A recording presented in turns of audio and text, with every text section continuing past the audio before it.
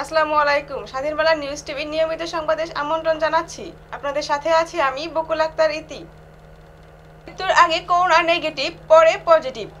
মৃত্যুর আগে করোনা ভাইরাসের রিপোর্ট নেগেটিভ আসলেও মৃত্যুর পর এক ব্যক্তির রিপোর্ট আসে পজিটিভ। এ ঘটনা ঘটেছে কলম্বিয়ায়। কলম্বিয়ায় কোভিড উনিশ করোনা ভাইরাসে প্রথম ওই ব্যক্তির মৃত্যু হয়েছে বলে জানা গেছে। দেশটির স্বাস্থ্য মন্ত্রণালয় এ তথ্য নিশ্চিত করেছে।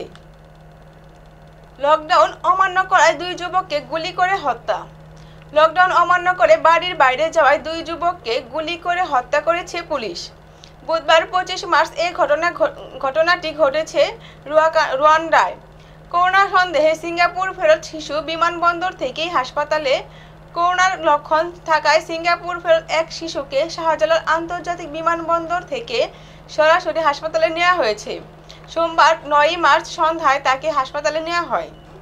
আমাদের সংবাদটি যদি আপনাদের ভালো লাগে, তবে সংবাদটি শেয়ার করুন, কমেন্ট করুন। আমাদের চ্যানেলটি ফেসবুক পেজে সার্চ করুন Swadhin Bangla news TV.